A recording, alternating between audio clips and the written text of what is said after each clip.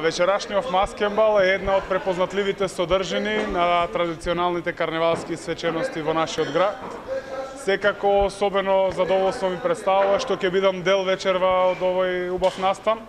Јас се надевам дека присутните на маскембалот нема да му замерат на ВД градоначалникот што дојде немаскиран. Секако мојата одлука на мојата одлука влијаја неколку работи. Едно од нив е и обемните обврски кои што ги имам како веде градоначалник во општина Струбица, секако и актуелната политичка ситуација во државата. Но тоа воопшто не е битно, најбитно од се е вечерва добро да се забавуваме и да се дружиме и секако како струмичани да ја реализираме оврската, а тоа е да го задржиме епитетот кој што го има струмичкиот карневал, а тоа е да биде еден од најдобрите карневали во Република Македонија, секако и еден од најдобрите карневали во Европа и светот. Ви благодарам.